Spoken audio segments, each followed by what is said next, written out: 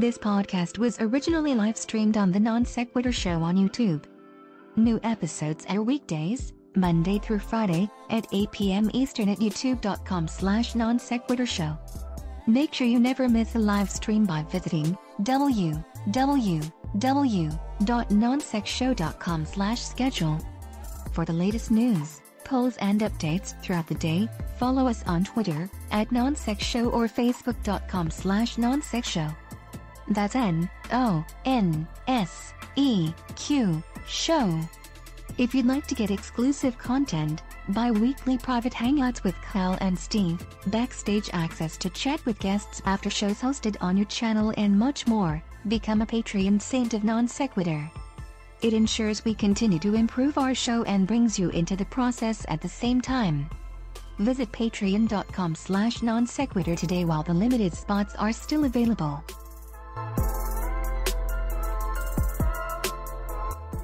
The following podcast is intended for those who believe bold ideas are righteous, unique perspectives are gospel, and strong opinions are sacred.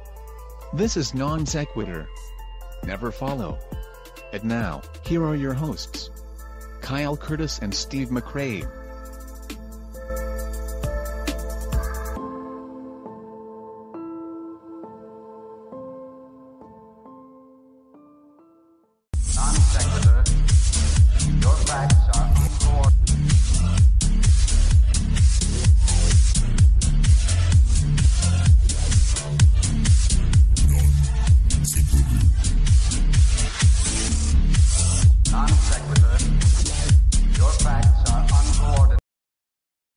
Well, now finally, our friends across the pond can enjoy a show of ours.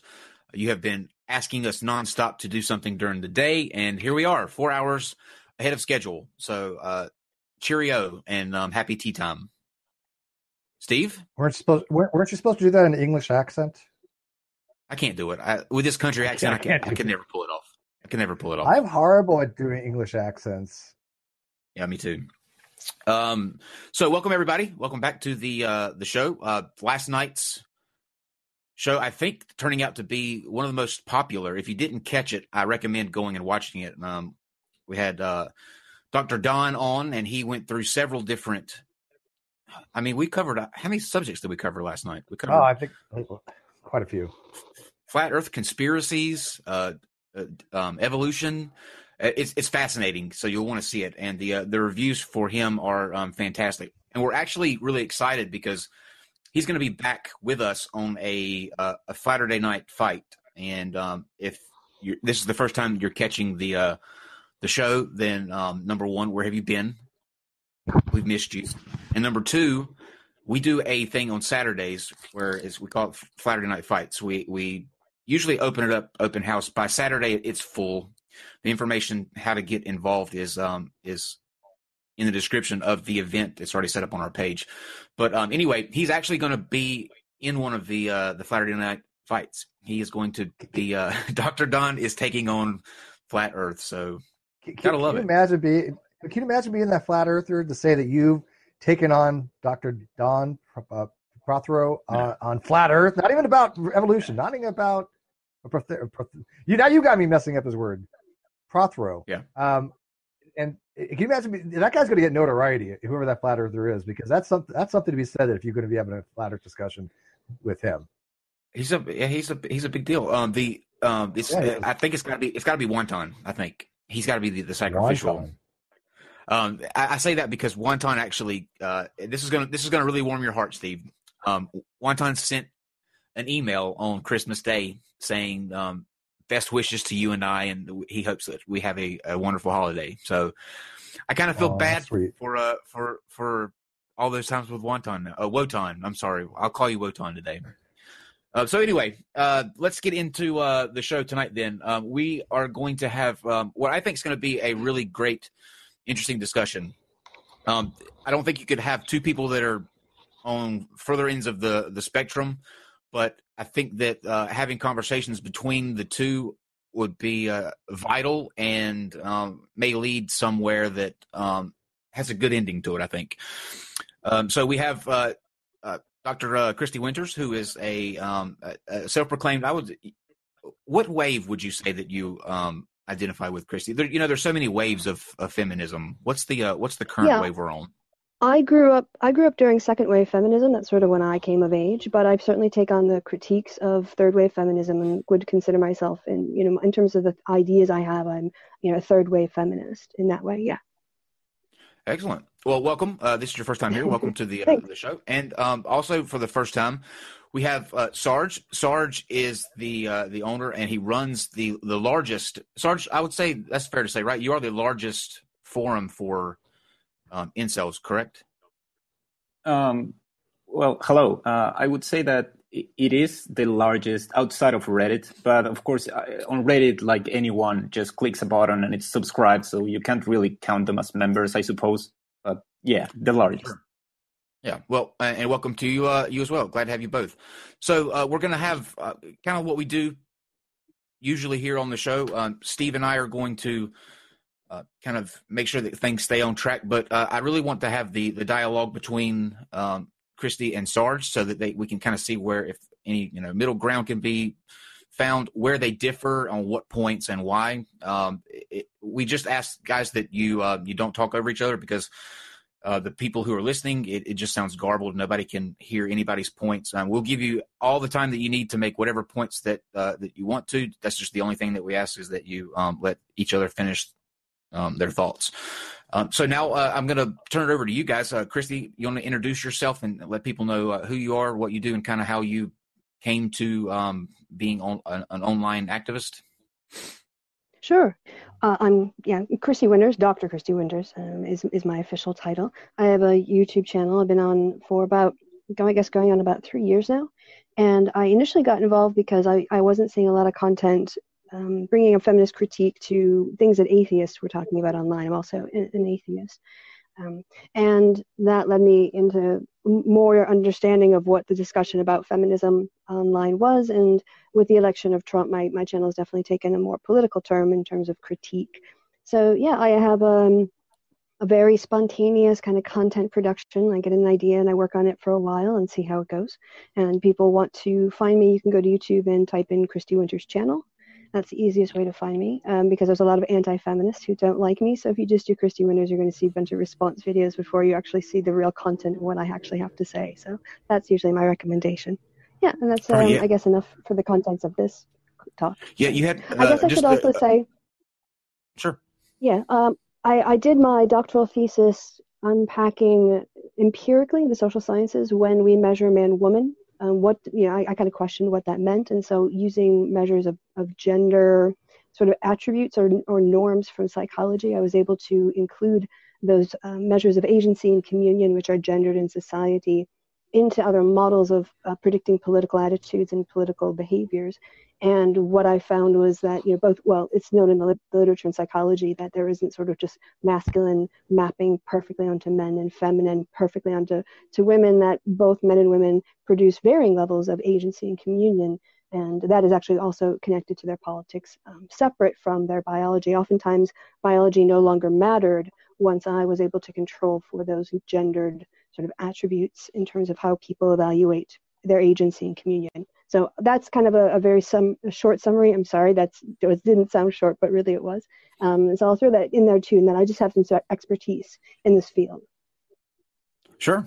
Um, and uh, you, you, when you say that you, you made the comment about um, there's a lot of people who who who don't like you.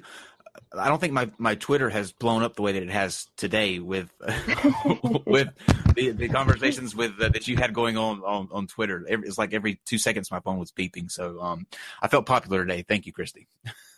You're welcome. Welcome to my life. Um, um, and so, uh, uh, Sarge, let's turn to you now. Um, if you want to introduce yourself and kind of let people know who you are and what you do, and then um, we'll kick off the uh, the talk. Sure, I'm uh, I'm Sergeant Incel. That's the the full username, but uh, Sergeant, Sarge, or anything you want to call me, that's fine. Uh, I'm the owner and uh, administrator of Incels.is, the, as you said, biggest uh, incel forum on the web. And uh, I suppose that's it, really. Um, so I'm going to let you uh, continue on now. For, for people who are watching that may not be familiar with what an incel is or um, anything about the community, can you uh, take us through what that actually means and um, the uh, you, you you hinted on it before we started, but the, the process on you know how you kind of monitor your your community online and that sort of thing. Just give us kind of a, a rundown of what it means to be an incel. Of course. Um, first of all, the definition of incel has, uh, I suppose, changed over time, uh, mainly because there's no official authority that uh, authority that uh, says what an incel is. Uh, we have our own definition that we have that it has kind of set the the standard uh, over time as well. But again, if if someone wants to change the definition of incel, I suppose they can, just like the definition of feminist has changed over the years.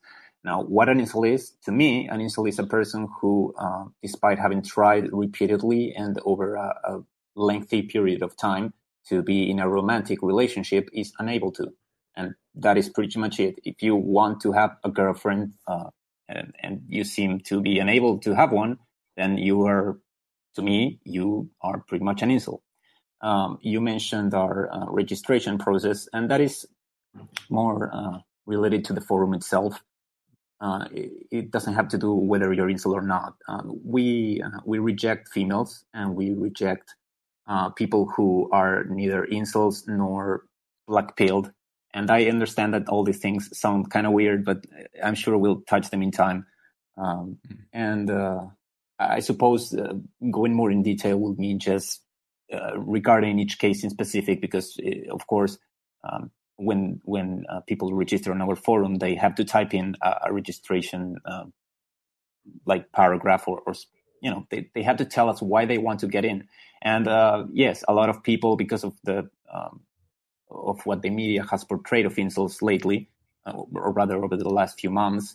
Um, we have many trolls and many people who don't genuinely care about incels, but they just want to get in just to see how things are like or um, curiosity that is more, uh, you know, of a lazy kind or, or a, a, why not kind instead of a genuine, sincere uh, need to know what incels are. Um, I suppose that I should explain now why we don't allow females. Uh, it, it sure. has nothing and, to do with misogyny. And before yeah. you do that, before you do that, um, I just want to uh, briefly touch. If we, you said that you had about ten thousand members just on your forum alone. How how large do you think, as a whole, the, the the, the community or the population is on a broader scale, like not just the forum. Uh, do you do you kind of have any idea of what the numbers are? People who would identify as being an incel. Is there any kind of information on that? Right. Uh, that's an interesting topic, actually. Uh, I personally believe I, I can't give numbers because I'm not an authority in any way or form. Even though I'm owner and admin of the, you know, I'm I'm sure. just a guy, right? At the end of the day, so uh, I'm not I'm not going to give a number, but the the number is definitely far bigger than 10,000. I would go into like, there's perhaps millions of people in the world uh, that are incel uh, regarding uh, the um, the definition that I gave. Um, mm-hmm. Now, um, now, now, now sorry, would be what, a good time. The question again? Um, well, you can go into why you don't allow um, females, and then we'll we'll go over to Kristi and get her kind of um, right. Take if she's right. had any experience so, on. Yeah. Mm-hmm. So the reasoning behind uh, no females allowed is it has nothing to do with hatred of women, uh, contrary to what sensationalistic media has tried to portray, uh, but rather because, uh, well, I could go on. This is a very in-depth topic, but I'll, just go, um, you know, surface here. Uh, in general, I'm sure that anyone would agree that if, if a man and a woman and a woman um, both install Tinder on their phone, and uh, the girl is going to get like a, a thousand likes in a minute, well, the guy, well, if he's attractive and uh, and I don't know, genuine or, or whatever you want to think, he he probably get some likes, you know. But if the man is ugly, uh, unattractive, let's say, no, let's not be very vulgar, uh, he's not gonna get too many likes or maybe none. While uh, in terms of females, they usually, well, they get a lot, uh, even if they're at the bottom of the barrel, let's say. So uh, with that in mind, it's generally very difficult to say that a female can be incel. Uh, and this is debatable even in the in the community. I've had people say to me that um, they believe females can be incel. I personally believe that you really need to be uh,